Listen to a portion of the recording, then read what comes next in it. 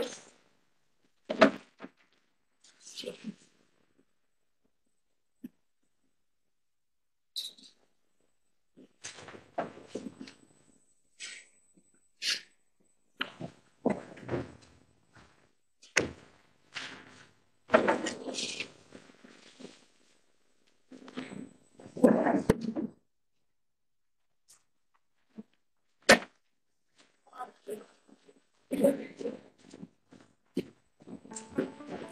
2015, world leaders committed to providing quality health services to everyone by 2030.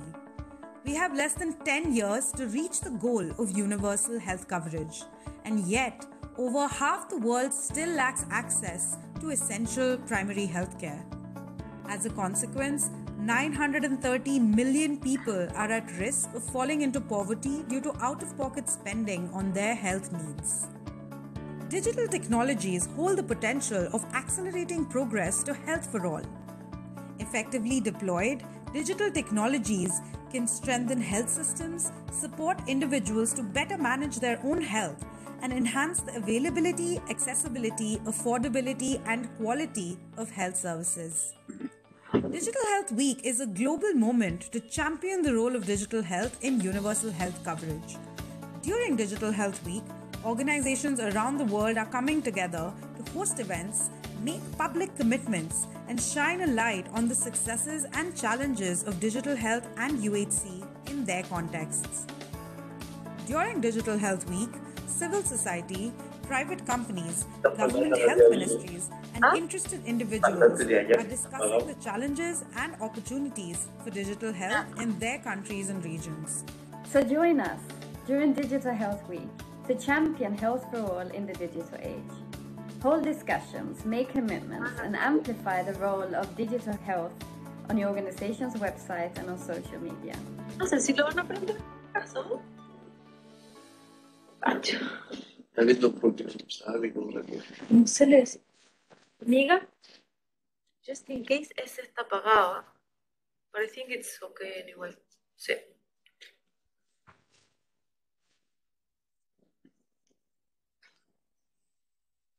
Okay, so welcome everybody to this hybrid session. We have a few less in-person people than projected, but that's perfectly good. You all have your space. Um, so welcome to the event that's hosted by the Governing Health Futures 2030 Growing Up in a Digital World. It's a Financial Times and Lancet Commission, and we recently launched, launched our report uh, on the 25th of October, so just a couple months ago. Uh, I would like to give a few opening uh, remarks in regards to a shout out to the Global Health Initiative here at the Institute, who is collaborating with us on COVID in this event.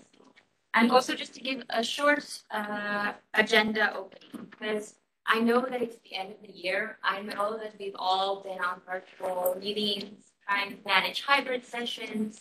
Um, and so I just want to flag that we're really hoping that this session will be very informal and also a roundtable discussion. So we're welcoming people from in the audience.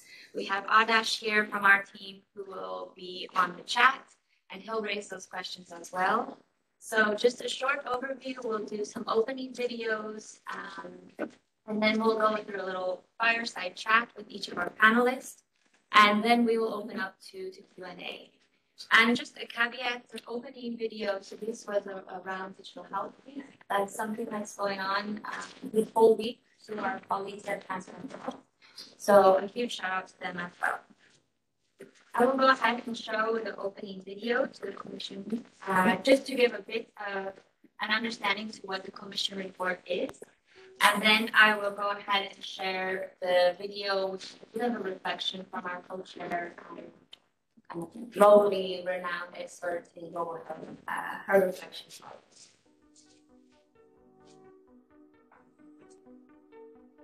Our world is rapidly changing.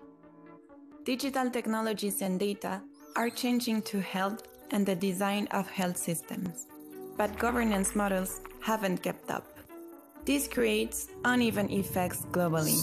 The Lancet and Financial Times Commission, Governing Health Futures 2030 Growing Up in a Digital World, shows how digital transformations are changing our health futures. In October 2019, 19 commissioners were brought together to develop the report. These commissioners considered a wide range of governance approaches, ethical guidelines, and institutional responsibilities that must be considered to improve health and well being in an increasingly digital world. Commission meetings prompted open dialogue and shaped the heart of the Commissioner's report. The Commission engaged with stakeholders, including various international organizations, non governmental organizations, and decision makers at the global and regional levels. The novelty of this collaboration between the Lancet and the Financial Times also allowed for private sector engagement without compromising the independence of the Commission. There were three key findings. First, young people's experiences growing up in a digital world are just as diverse as their lived experiences. They are excited about the benefits digital transformations will have for their health and well being, but they are concerned about online risks finding trustworthy information, knowledge on how their data is being used, and whether these technologies are grounded in human rights. Secondly, the Commission identified a solidarity led approach to health data and addressing digital determinants of health to be important for maximizing the public health value of digital transformations. However, these are missing from most governance approaches. Lastly, we discovered that all countries are looking to use digital technologies to improve their health services and make better use of their health data. Most countries have already developed digital health strategies, but they are yet to adopt an approach based on the principles of data solidarity, digital trust, accountability, and public participation. The Commission found that these principles are key to advancing health equity and resolving privacy concerns. Digital transformation have the potential to improve everyone's health and will allow young people to have a role in making decisions about their health futures. But this is only possible if collective action is taken to strengthen the governance of digital technologies and data so they benefit everyone. For this to happen, governments, companies, and other organizations must take collective action by building a governance architecture that fosters trust, addresses the role of digital technologies as determinants of health, enacts a new approach to data collection and usage based on data solidarity, and invest in the enablers of digital transformations for public health and UHC. Our health futures are being decided now. If governments and companies adopt a value based approach to governing digital transformations, everyone will move one step closer to reaching a sustainable future where health for all is realized.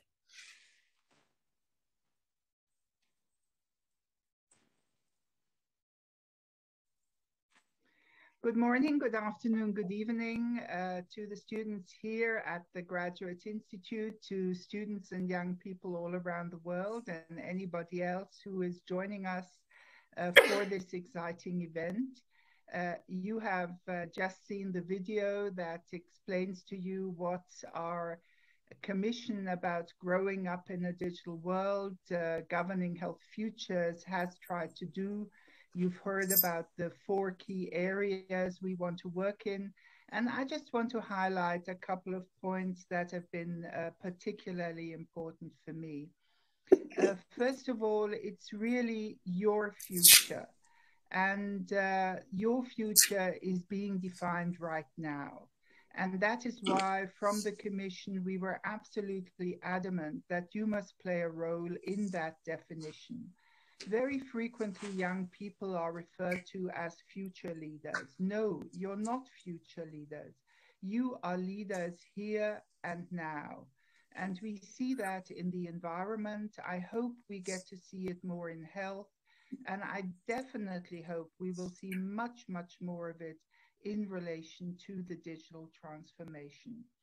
Because our societies and our future, also the future of older people like me, are being redefined right now. It's about great transformations. In living through the pandemic, we are experiencing an enormous health transformation. We need to rethink how we understand health. And we have learned how important health equity is. We've learned again who has access and who does not. And unless we address that, the future of health will not be good. We've learned in that context also the importance of the digital transformation. A number of countries who have used digital means to let their people participate in the response to COVID 19 have had much better success. And I underline that not those that have under that have used the digital transformation to control their population, uh, but those that have allowed their people to participate in uh, this transformation, in the need to respond uh, to the pandemic, and also uh, in transforming their environments. We have uh, fantastic examples of what is called civic tech about how a new form of governance, of stewardship, of data collectives, etc., is emerging. And you, the young people, should play an absolutely central role in that. And of course, the third big transformation is the ecological transformation, is the climate uh, transformation. And as I said, young people are already such a critical voice here and uh, they need to move it forward.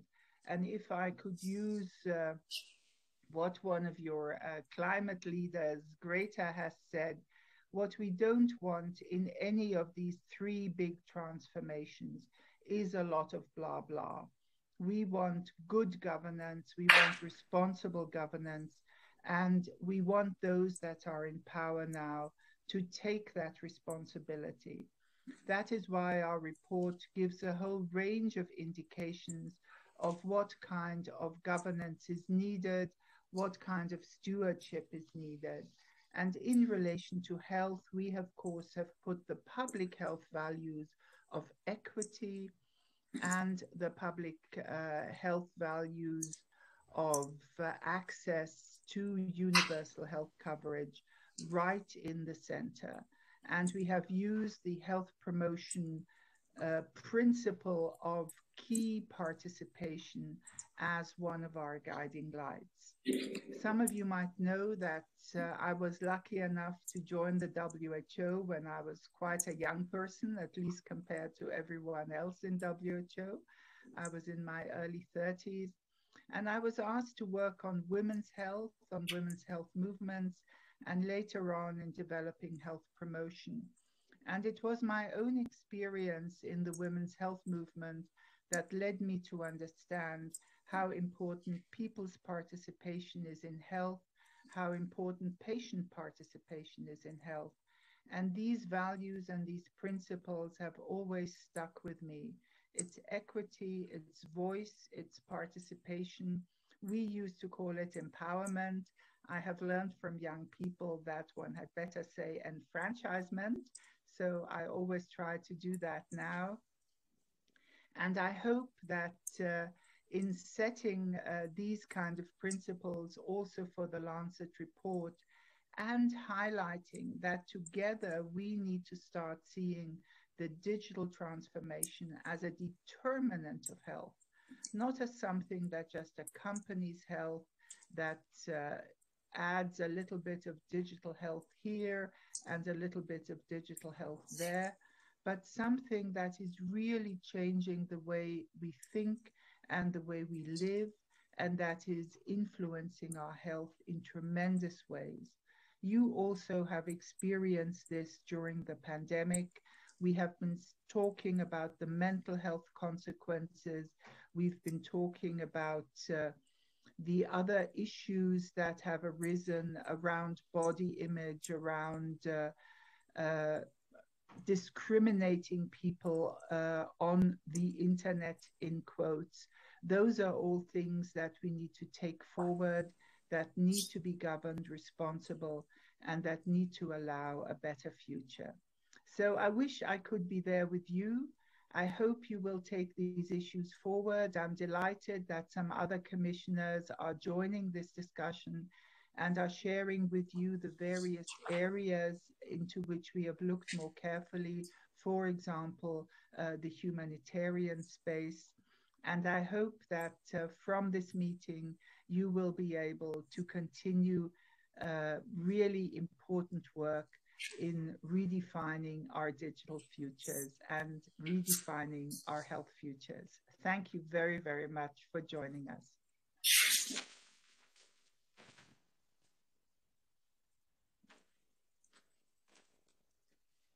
Okay, so that's a huge shout out to Ilona, who is our co-chair. Um, she's also been a professor here for years, so several of you might have had classes with her.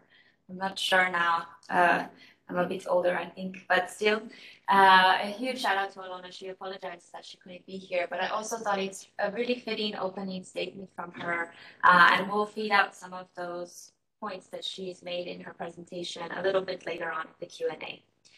Right now, we want to be a bit more, get some information from you. We've had a couple videos. Um, so if you can all scan this Mentimeter code with your phone, we're trying to create a word cloud here, answering the question, in one word, what can you do to co-create health futures in our digital world? So if you're unable to scan the code, you should also be able to go to menti.com uh, and enter this 50558545 for any of you on mobiles that can't see the screen quite clearly.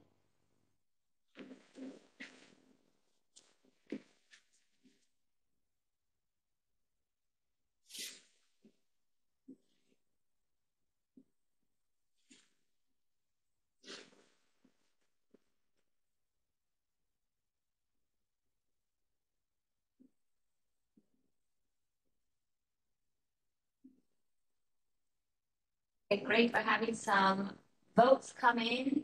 We've got participate, innovate, creativity, advocate. I don't see anyone that's hit more than once, so we're all individualistic on this perspective, which is also nice. okay, great. So we'll capture this uh, and we'll bring it on uh, a bit later on in the Q&A. Now I think we can go ahead and get started on our fireside chats. I will welcome the panel discussants uh, to join us here.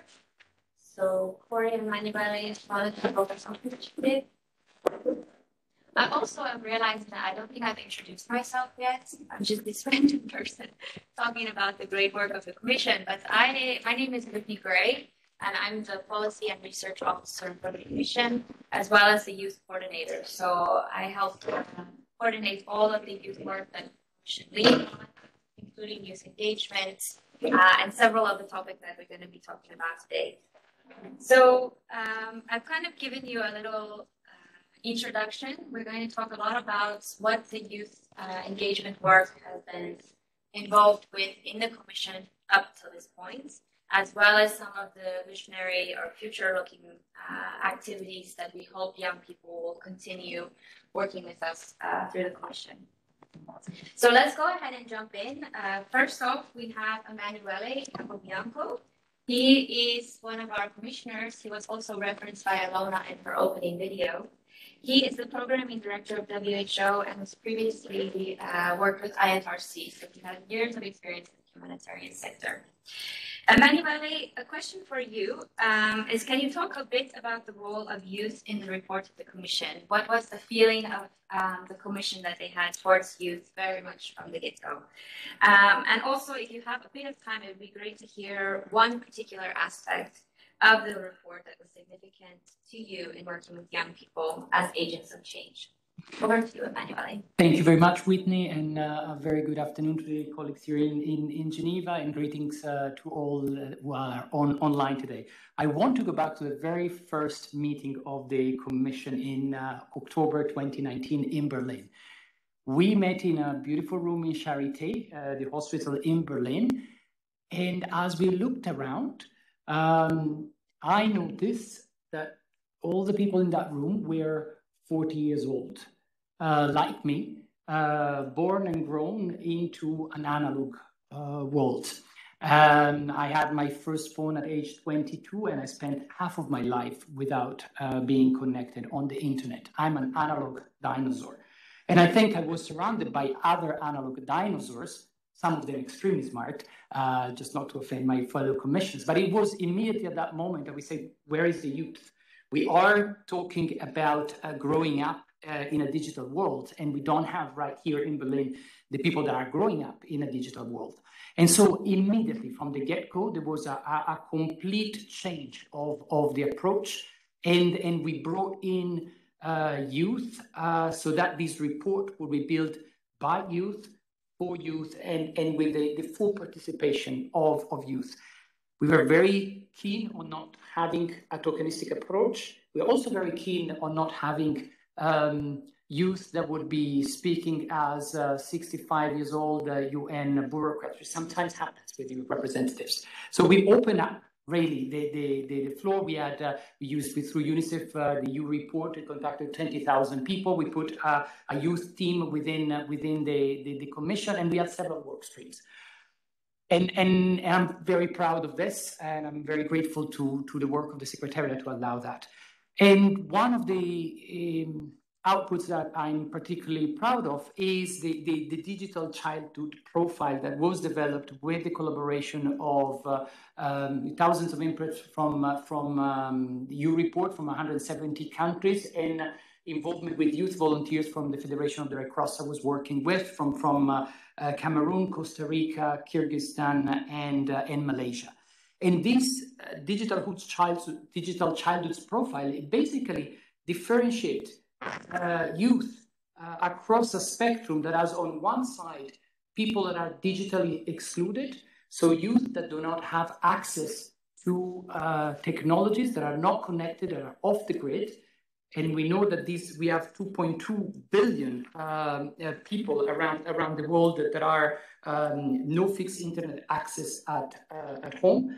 And then on the other side, we have the, the so-called digitally immersed children and youth that can live online in an harmonious way with their life offline and taking the best of the world and, and enriching that. And in between, there are a number of other um, digital childhood types with bigger or smaller challenges from, from, from connection, from the health situation these, these, uh, these children and youth are in, from the um, type of environment where they are in, whether they are censored or not by their parents, uh, whether they are fighting for a, a mobile phone uh, or, or an iPad with, uh, with other uh, sisters and brothers, and, and so on. And I think what came out of this is basically how heterogeneous uh, the, the, the, different childhoods are, um, and the need to look at what can be done according to the different um, type of, of digital childhoods that we have to improve their life, to improve their, their health profile moving, moving forward. And I think that heterogeneity is critical. We need more research to understand where, where people are, and we need to work with, um, with uh, youth to try to identify the, the solutions. And part of the solution are linked to connectivity and, and really making sure that the, the, the connectivity is, is, is expanded.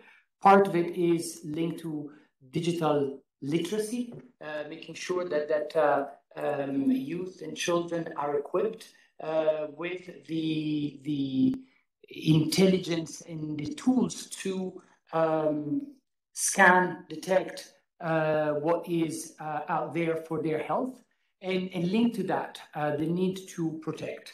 Um, as a father of, of three children of 15, 11, and 6 years old, I am very keen about the risks that uh, digital connectivity may, may bring. And so there is a responsibility that falls with families, with policymakers to protect uh, children and youth as they develop.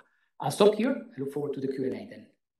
Great, thank you, Emanuele. I think you brought up really quite a few great points in relation to what the Commission's kind of values and principles were in approaching young people as this work kind of progressed, but also from the beginning. Um, And I, I just want to say that we're going to post the reports so that everyone can have it uh, who's joining virtually and everyone here in person. There are reports uh, at the doorway, so feel free to, to grab your own copy. Um, and we'll come back to a few of the points that you've mentioned, including the childhood profiles, because I know those are a really fascinating uh, part of the commission report that a lot of young people have really been uh, kind of latching onto. Now I'm going to introduce uh, Eno uh, George Stevens. He joins us from, from Cameroon. He is our youth officer for the youth team of the Commission. Um, the team that Emanuele was just mentioning was developed at the very uh, beginning of this work. So, Emanu- uh, Eno, thank you for joining us. I hope you can hear us okay. We can see you very loud and proud in our main screen. I'm just realizing that in hybrid sessions, maybe one day we'll find the same size human face on a screen as the, the panelists next to you. But I'm glad that you're here. Uh, the question that we'd like to ask you today, Eno, is uh, please just feel free to share a few experiences you've had as the youth officer of the Commission and how this has helped shape your role in creating health futures. Over to you, Eno. Thank you very much, Whitney, and hello to everyone. Uh, as Whitney has said, I'm called Eno, and I'm joining from Cameroon. I, I joined the, the, the, the, commission, the secretariat of the commission last year in November. So I'm one year now within the, the secretariat as a youth officer.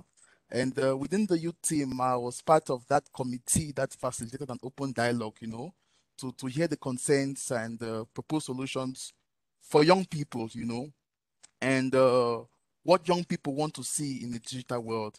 And, you know, we had a consultation, and uh, this consultation brought together 35 participants from uh, 23, uh, uh, representing 23 youth networks, you know, and uh, we had a two-part consultation, and we titled it, What do youth want to see in the future of health governance?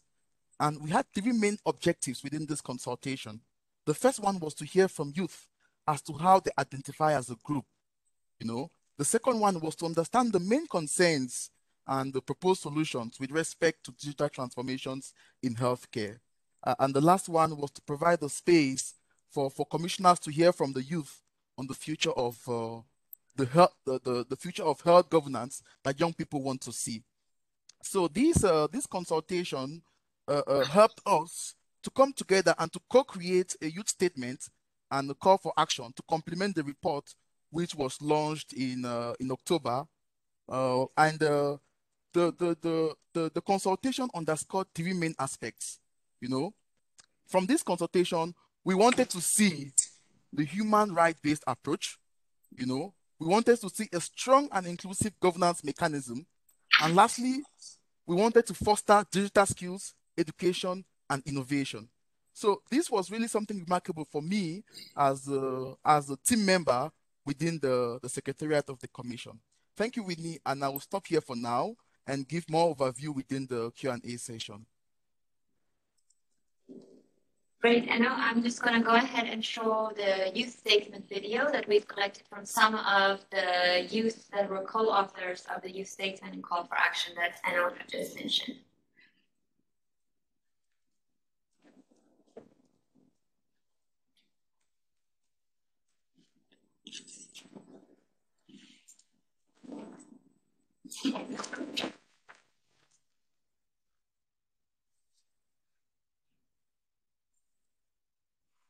Sorry, apologies. I think I'll start that over uh, once we have audio, so you'll be able to hear it.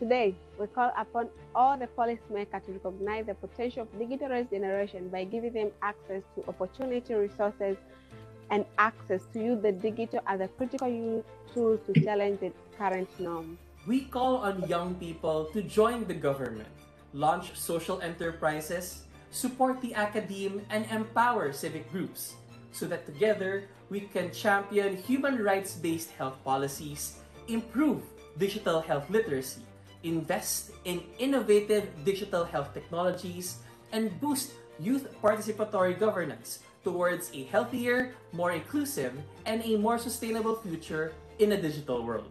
What we are expecting as youth from the launch is the meaningful engagement of young people in the decision making processes when it comes to the development of health governance models that dictate the standard of health and well being of youth. This can be achieved through addressing the critical considerations and call to actions regarding the future of our well being and safety in the digital world. Intersectionality in the conversation of human rights in the digital age is non negotiable. Youth are not a monolith, and as such, our diverse, unique experiences must be the focal point in these conversations. Stakeholders must ensure that youth are not an afterthought, but are active participants in the creation of our own future.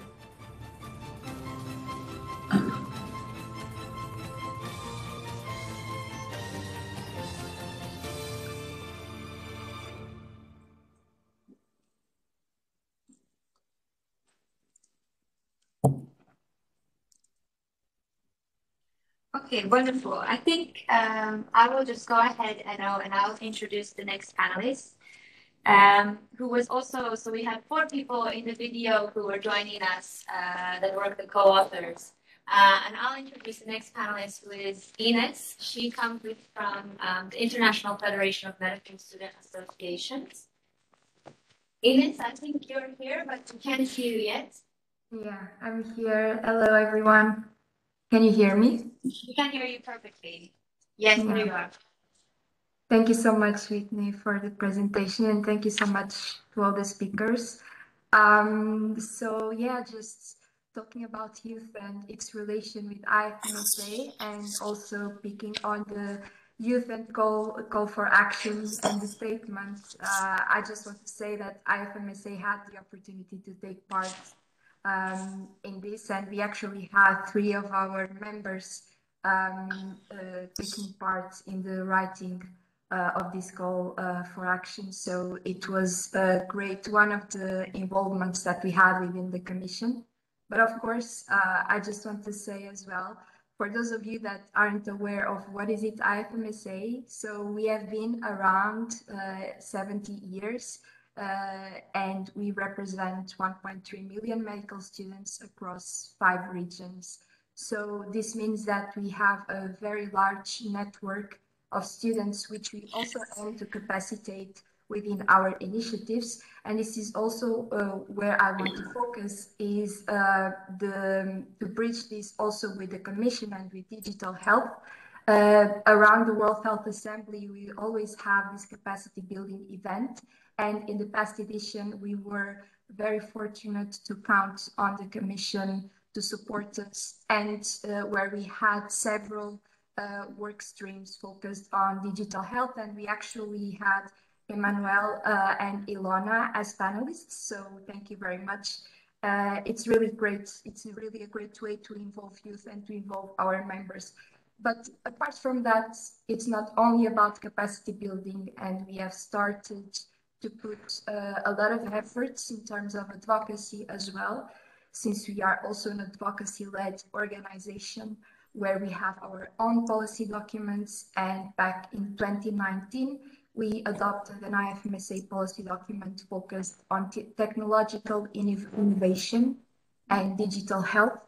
And apart from that, since we attend uh, the World Health Assembly and our the WHO regional committee sessions, we always have the opportunity uh, to advocate, and we actually made some statements uh, on digital health. Uh, these were uh, focusing on capacity building and on advocacy. These were, let's say, the main uh, pillars of work that we have been developing. However, this past year, uh, also with the support of the Commission in the development of a global survey uh, that we shared among our network to understand actually what is the knowledge of medical students in relation to digital health and if they believe that they are being capacitated enough as future healthcare professionals and as health workforce. So besides that, we have also tried to bridge uh, digital health with universal health coverage and to work more on that lens. Um, and I believe that for now, this would be it. But I will be very happy to reply to any of the questions that we, you might have in the Q&A. Thank you so much. Back to you, Whitney. Thank you, Ines. That was really great. I appreciate you kind of commenting to introduce, um, you know, wrapping up that youth statement. Just to get a bit of clarity on that, uh, it was the first time that the Lancet agreed to have a partnering document to the Commission report. And that partnering document is this youth statement and call for action that was written completely by young people. So getting back at a few points that Emanuele said at the beginning, where they wanted youth to be a part of the commission, but also to be their own kind of um, organization, you know, their own fuel to, to what they want to see done uh, and how that complements with all the work of the commission. I also think, Ines, it's great that you mentioned some of these capacity building activities that the Commission has uh, been able to do in collaboration with IFMSA. IFMSA is one of several different partnering organizations uh, that's youth led that the Commission works with. And I think that's a great introduction uh, to our next panelist, who is Corey. Uh, she's joining us. She works uh, with us on the youth team as well. And she's a master's student here at the Institute uh, and focuses on global health and environmental issues. Corey, your question today is what are some of the opportunities as a master's student that you have appreciated as working with part of the commission on the youth team? Thank you, Whitney, for your question. And yes, so I'm myself a master's student here at the Graduate Institute. And I think after working with you for almost a year, I can say that I feel very privileged to be part of a commission that is committed to engaging young people around the world in its work. Um, so this year, during the ECOSOC um, Youth Forum side event, we launched the GH Futures 2030 Youth Network as a platform to co-create and collate future research, um, advocacy, and the dissemination of the report. We have now 180 members. And in an attempt to bring these young people together more directly, we also launched a Facebook group um, in August. And this group uh, has over 100 members today. Um, so this youth network brings together young people interested in health and the well-being of youth. And the goals are to build a movement dedicated to digital health governance, um, inspired by the needs of children and youth, uh, generating dialogues and actions co-designed and co-governed for and with young people. Uh, on this platform, the youth team is constantly sharing opportunities uh, for global health governance, digital health, and meaningful youth engagement. Um, it is also a platform where youth members can share events, conferences, but also they can share their own interests, their own research, and dialogue with each other. Um, moreover, I also saw several members of this youth network joining the GH Futures 2030 Youth uh, roundtables or panels. And some of them have also responded to a call for uh, youth authored blogs that has been published by us. Um, we also launched a podcast channel um, in which we invite a young person to join us in each episode. Um, in fact, our third episode is coming out next week, I think, and it will be on mental health. Um, and yeah, I think these are some of the um, projects that I have seen closely or had a chance to be part of. But I think this is why I encourage young people to join the network, the Facebook group, uh, so they can learn of future opportunities to work together um, in the future work of the Commission. And well, since this event is focused on youth, uh, it is my pleasure to introduce the Global Health Initiative, so I will introduce Amel and Lee. Um, both are, are students and members from the IHEID Global Health Initiative, an initiative composed by youth, uh, young students uh, interested in global health. So I actually have a question for you. So um, bringing back one of the points raised by Ilona, young people are leaders of today in their own right. Similarly to other student-led initiatives invested in supporting young professionals in getting active in shaping global health governance, can you elaborate why the Commission is of particular interest to the work of GHI and why role uh, and what role you your members have in shaping health future here from Geneva? Um, thank you, Cara, for your question. Um, so First of all, we would like to introduce a little bit about what uh, our initiative uh, doing. So my colleague Amel will give you a brief introduction of what our initiative does. Yeah, hello everyone. So the initiative was created in 2019 and it gives basically, it's a space where students can uh, discuss global health um, issues deeply and do this by inviting speakers, experts in their field, and they share with us their perspective. Um, for example, last year, since I'm a first year student, I wasn't here last year, but they had organized events about climate change and global health. Um, COVAX, um, protection of healthcare during uh, in conflict zones, and the role of drug traffickers in Latin America during the COVID pandemic. And, and during the reproductive week, uh, they hosted three lectures on male contraception, abortion, tourism, and sex education. And most recently, we hosted Grega Kumar from the IFPMA. Uh, we discussed COVID-19 response from uh, a pharmaceutical perspective. Um, so yeah, so we are we are happy that the Commission tries to involve youth people um, in the topic of global health.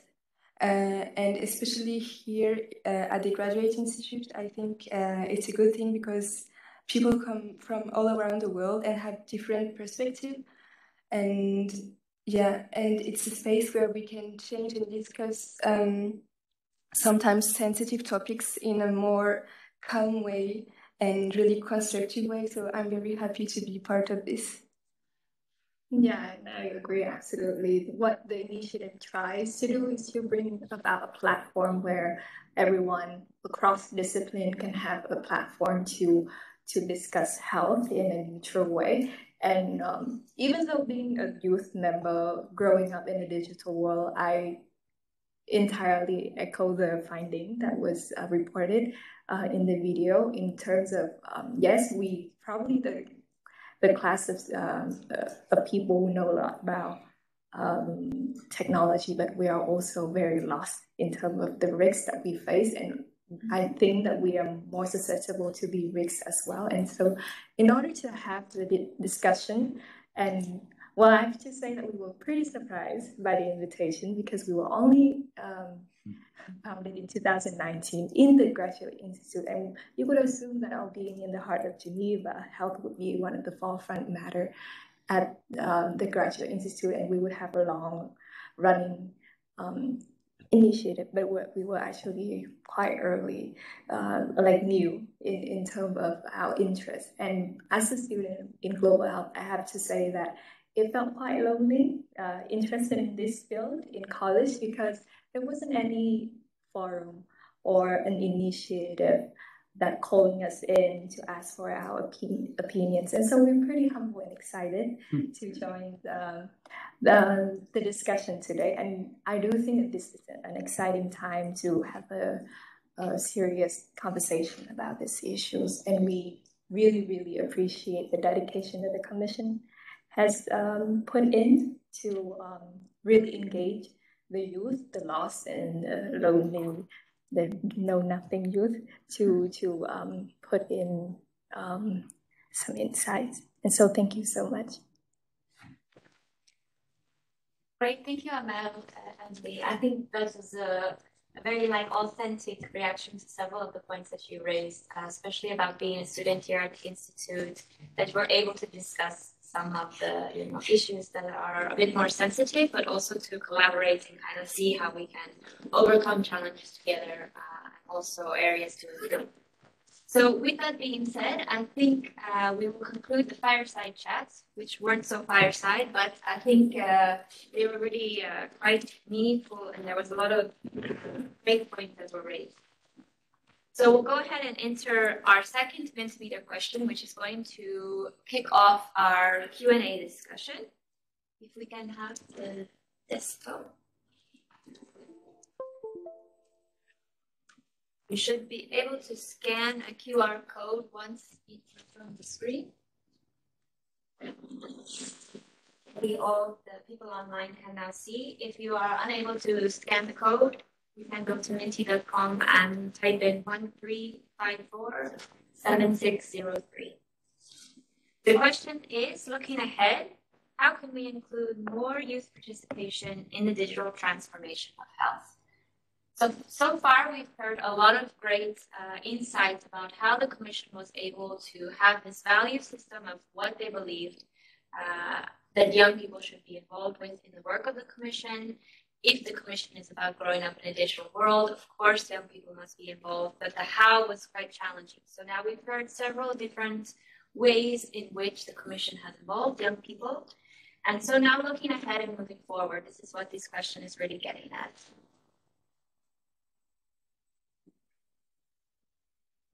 Great, so we do have some responses already coming through. Dialogue, opportunities, convening youth, governance, consultations, resources, educational campaigns. Maybe our questions were too challenging to get. Uh, oh, research. There, that's one. that's one that's had more than one response, uh, and resources. So that's a very that's a good uh, word map, and I hope that some of the panelists you'll pick up on a few of these points um, as we move into this Q and A section of the discussion. I am aware of time, trying to be a moderator and not Swiss by birth, but we are in Switzerland, so trying to maintain that. Uh, I do know that we were a few minutes over due to the, the class in the room to start with, which is why a few people online were confused. Um, so we'll try to stick, but we might go over about five minutes or so. So if you're able to stay, please do join. If not, uh, we do appreciate you you being here, and we will leave you at uh, sure. So let's go ahead and get started in the, the Q&A. I think we'll go ahead and open it up to people in the audience first, since we're few and far between. Uh, it feels very intimate here. So maybe if there's anyone that has a question straight off the bat, Yes. Hello, my name is Eileen. Um, hello, is this working? No, it's not working. On. Hello? Ah. Hello, um, my name is Eileen. I am also a graduate student here at the Institute. It was a pleasure to, to have this session with you today. Um, I am, I would not say that I have a lot of information or that I know a lot about um, the digital um, movement and youth. But I feel like since we're being personal here, I feel that when I was growing up, I, I also grew up with the idea that technology was also a bit scary. Like, uh, I would remember my mom telling me, just be careful uh, the web pages you visit, if or if like someone tries to contact you, and that kind of I'm 28 years old, and that stick to me, and that's gonna stay forever with me, right? Um, so I actually wrote in the last question um, the idea of safe channels, safe communication channels, and I would love I, I wouldn't know how to frame a more specific question, but I would love maybe to hear more what you have to say about that, since you are the experts. Thank you very much. Wonderful. Thank you for the question. I think we can go ahead if there's one more question, maybe in the audience, and then we'll come back to the panel. Okay, great. I'll hand it over to the panel. If there's anyone that um, also virtually, Eno and Ines is here. I think this is an open question though. So, Emanuele, do you want to give it a try? Uh, sure, and, and thank you, Elina. I I mentioned in my opening remarks the issue of protection because I feel also um, very close to that, and I I mentioned in uh, in my role as a parent of of, of young kids, but uh, in the report. Uh, we talk a lot about protection issue and data issues.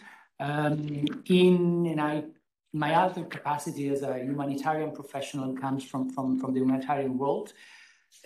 We, we know very well that, that people that are in distress, migrants, refugees, that are need a lot of things, would be put in a position of, could be put in a position where their data are given away uh, in order to have something in return, maybe health services, maybe food, uh, maybe something else. And we had a consultation as part of, of the, the work of, of the commission to look at the risks of, um, of digital technologies, particularly in, in settings with higher vulnerabilities where data can be used and misused and where people have no agency uh, necessarily around, around their data. And the report uh, has a couple of boxes that actually talk about, about that. For me, protection is a critical element that needs to be inbuilt. Uh, that comes from when you when you bring solutions to having very strong cultural approaches uh, and, and uh, adapted to, to, to the, the context where, where this will be uh, utilized and, and having a very clear uh, idea and mechanism for protection, particularly for um, young people of, of, of young age. And that comes also with huge investments on, on the literacy part that can start in schools to help children and youth to be aware of the potential, but also the risks, uh, and, and to be educated about what to do, what not to do with uh, digital uh, digital technologies. I think I think we will go to the web chat. There are a few questions, and Adash will raise those here. Yes, so we'll start with a very simple question that's come in, um, which is what is the most meaningful finding or recommendation of the Commission's report? And I guess this is mostly for Emanuele because he's the commissioner, but other people also I know. Can we keep that for the end and give the voice to other colleagues? I We'll respond to that. I will raise a specific question. Um, this is also for for Enno. Uh, and some of the work that you have done as being a youth officer on the youth team. I know there's been a call to get more regional voices, so I was wondering if you could fill us in a bit about these um, new additions to the youth team. Yes, uh, Whitney, thank you very much. So uh, we also within the, the youth team, we we also had uh, a process of involving more young people to join us, and so we we recruited uh, regional youth champions. You know, we recruited five regional youth champions from four continents. That's America, Africa, Europe, and Southeast Asia in October 2021, and they joined us, and it was a very uh, it was a very rigorous process where we had uh, amazing young people who joined us, and uh, their main role is to support in the dissemination of the report and also to lead advocacy actions within their various regions. So I must say it's a very important thing that uh, we're not only limiting it to ourselves, but we're also involving many more young people to join us in disseminating the report. Thank you. Over. Thank you. And uh, I think this next question um, kind of goes hand in hand with it, and it's directed at the Global Health Initiative, but also at Ines. Um, so we have some people joining us here in Geneva, and we've talked about the nice atmosphere that we're able to have as students. But I think it gets at also that we've got a lot of young people joining us from around the world. Some of them were regional champions, as Anna has um, emphasized. But it's really getting at that we all have student-led initiatives around the world, right? And we all have our own objectives. But how do you kind of work together and um, not build bridges, but also make connections with people who have similar interests and passions, but maybe uh, somewhere else in the world that's hard to get to? Um, this also kind of gets at the digital divide. So it's, uh, you know, it's an impediment to what we want to do to be able to collaborate together and co-create these futures together. And I was just curious if maybe your organization or also IFMSA has had any kind of solutions to how we can help to do this all together collectively. Oh, yes. Thank you for your question. Where is business going? Yeah, uh, we can go ahead for the person in the room and then we'll go to you second, Ines. Um, in terms of our activities, when we try to reach out to experts or panelists for a talk, in this time particularly, we find that there's both pros and cons.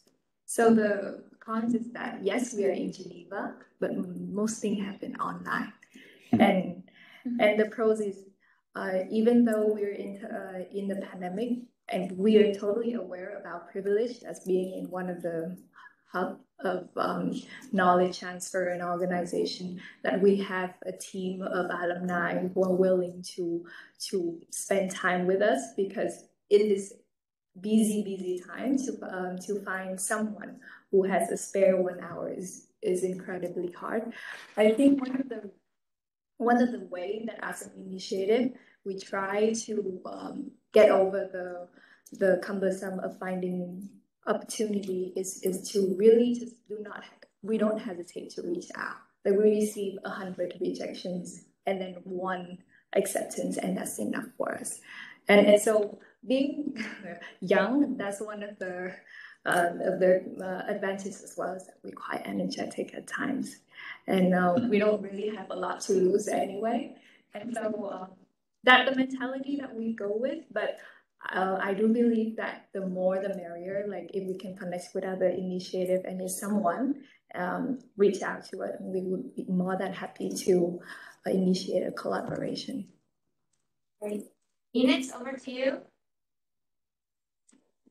Yes, thank you. And sorry.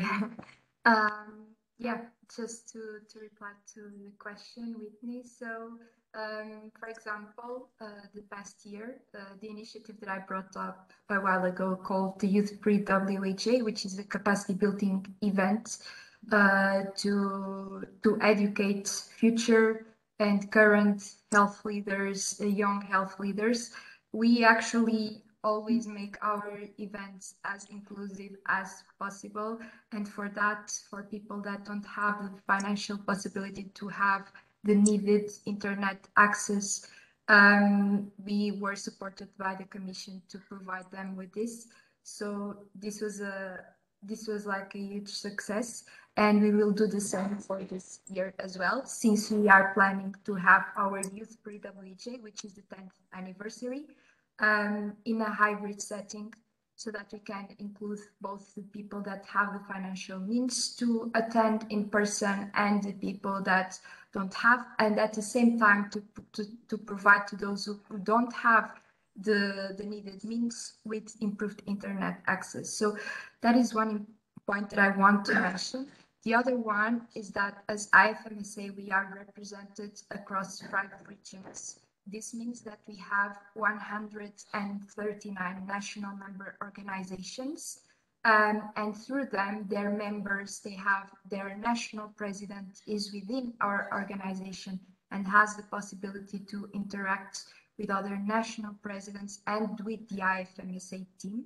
So we have this direct connection where we provide support to our members with regards to different initiatives uh, including um, organizing workshops back in their communities uh, with the, the needed quality. And we have had some topics uh, related to, to digital health.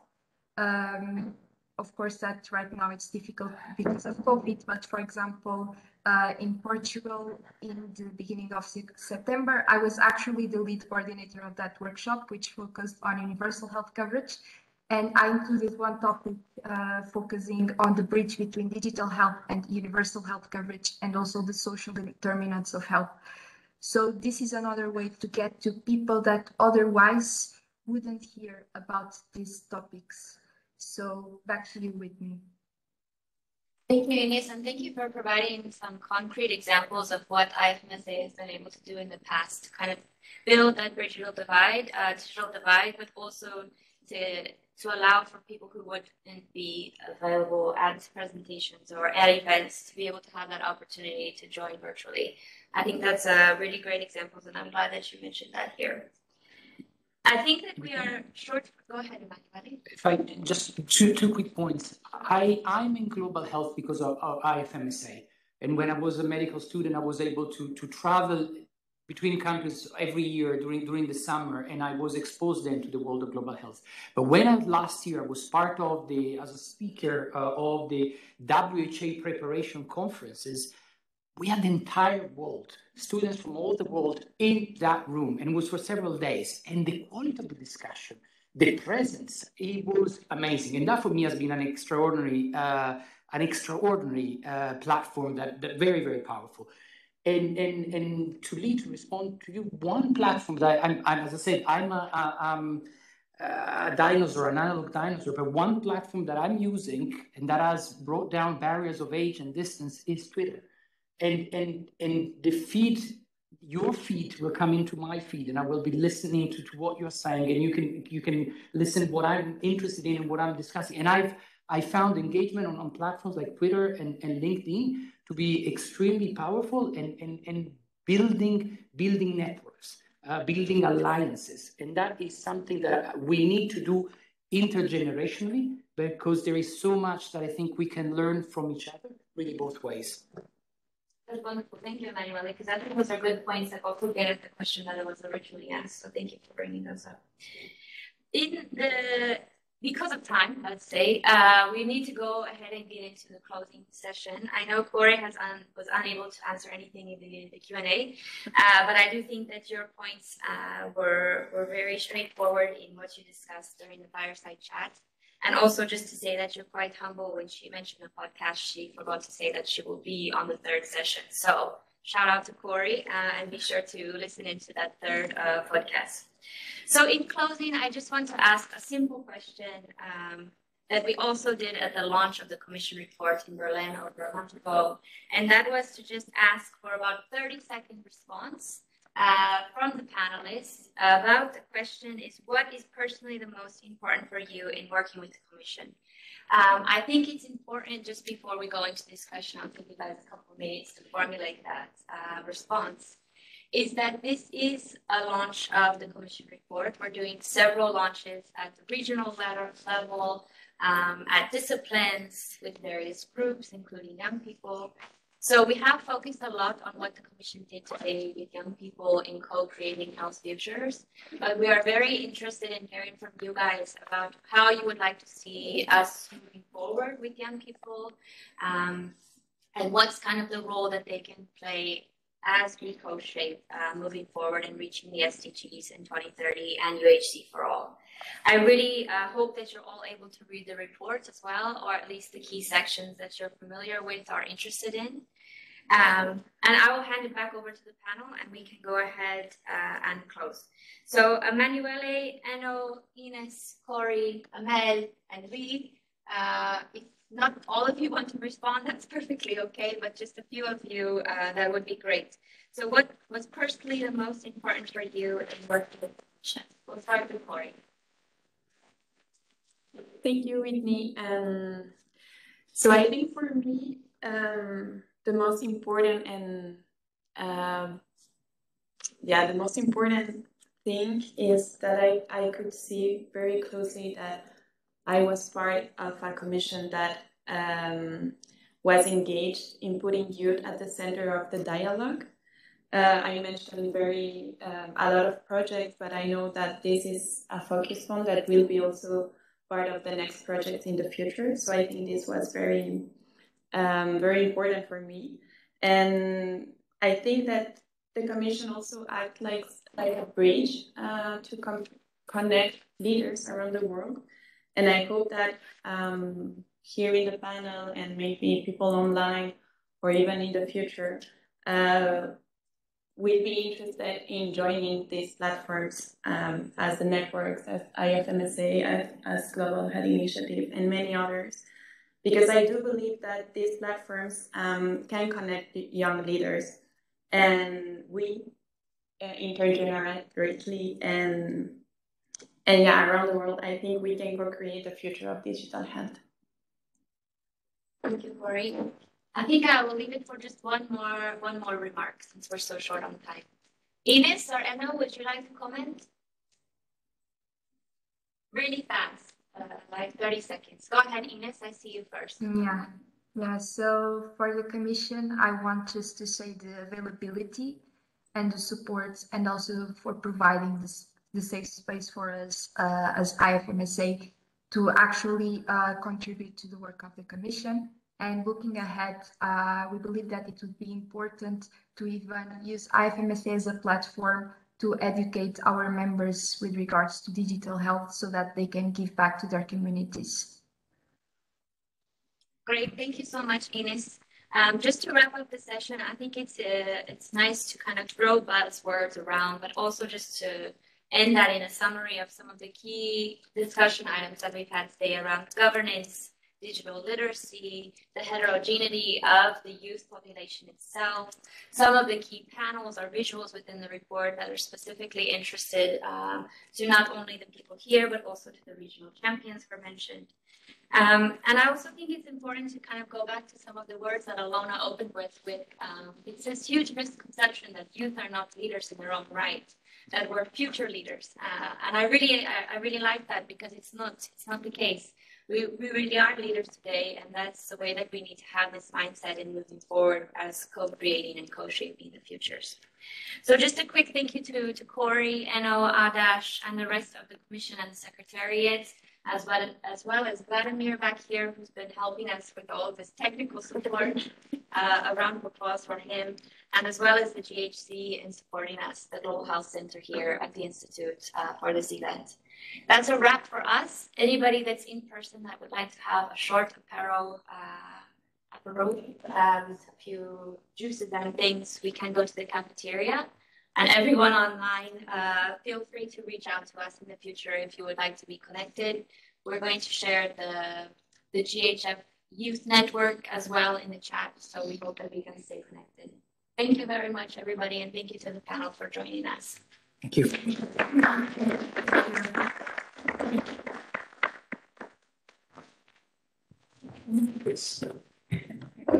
Thank you. Thank you. Thank you.